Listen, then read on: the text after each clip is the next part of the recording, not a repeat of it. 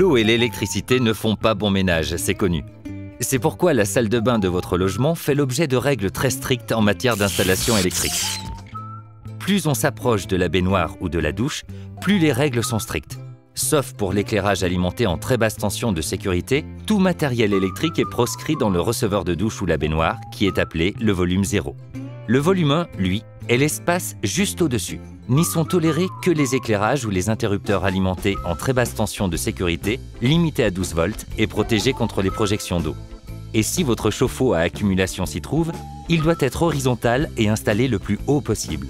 Jusqu'à 60 cm autour de la douche ou de la baignoire, c'est le volume 2, dans lequel seuls les appareils de classe 2 sont autorisés, car ils possèdent une double isolation électrique. Au-delà du volume 2 sont autorisés tous les appareils de classe 1 dont l'enveloppe doit être reliée à la liaison équipotentielle. On évite aussi de placer une prise de courant au-dessus du lavabo. C'est une question de bon sens. Dans tous les cas, faites appel à un installateur électricien qualifié pour faire réaliser les travaux, a fortiori dans une pièce à risque comme la salle de bain.